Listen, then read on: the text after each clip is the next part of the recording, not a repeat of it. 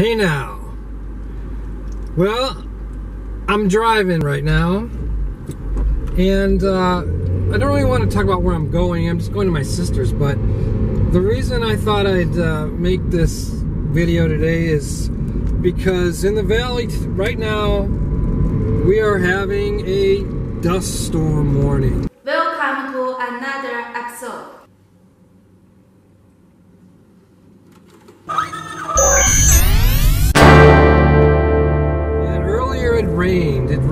About 30 minutes, really hard.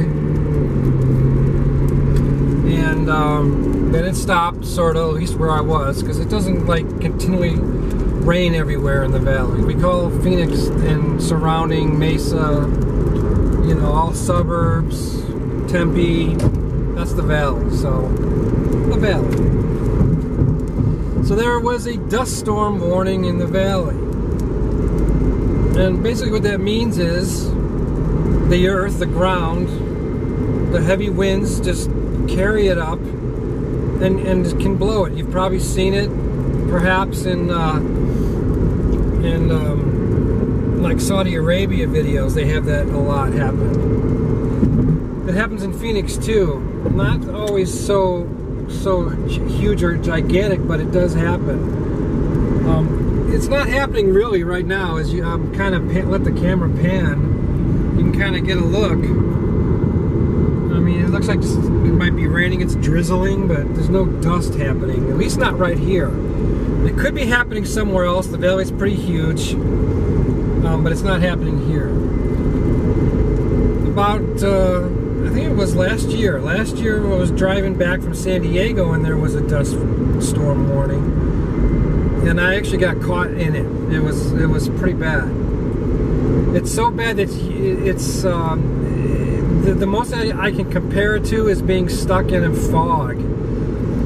Um, and you can't you can't see like three feet in front of you. You can barely see the red lights, of the backlights of a car.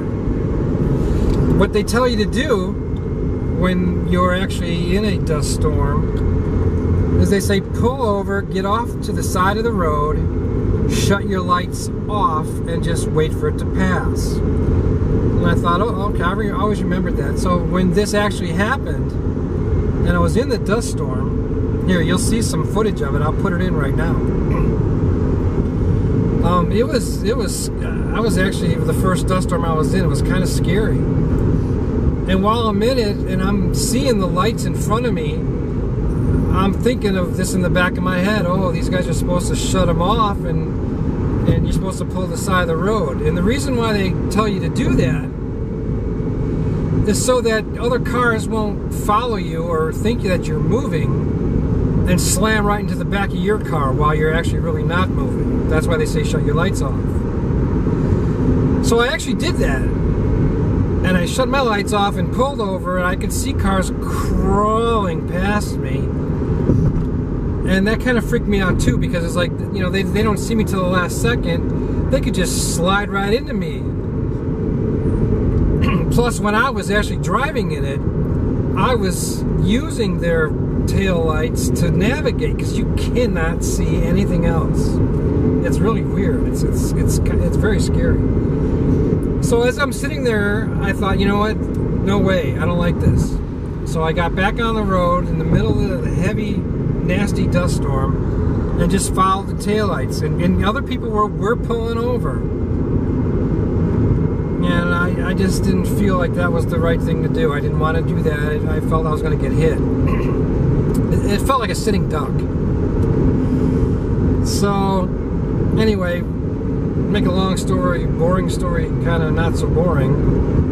I, I, decided just to keep going because I felt I was going to eventually drive out of this thing, or it was going to pass by, and I just needed to keep going to get out of it. It actually was only really heavy, heavy duty for five minutes at a time. It would be super really bad for five minutes, and then it would lighten up a little, and then perhaps come back again, but lighten up a little. So you did have some relief, and I just didn't want to be pulled over.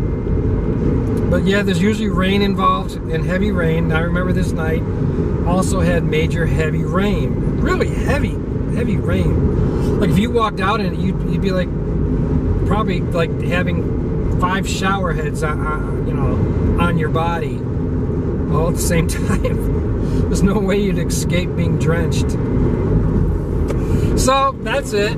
Just kind of wanted to tell you. you see what's going on. The other side, yeah, I'm just going to turn the camera around. It's, it's, you can see the sky is dark, but there's nothing major happening. So that's what a Arizona dust storm is about. We get warnings on our phones, like Amber Alerts. And they just make that sound, you know. So basically, if you were worried, it's all clear, even though this video probably not be posted till later. so here's my exit. Time to get off. Time to get off the highway. So I just kind of wanted to let you guys know what was going on here today. And that was it. Wasn't really planning on doing a video right now, but this dust storm kind of came up and I thought I'd talk about it a little bit. If it happens again and it's real bad, we'll, we'll try it again. So anyway, thanks for tuning in. Remember, go big or go home.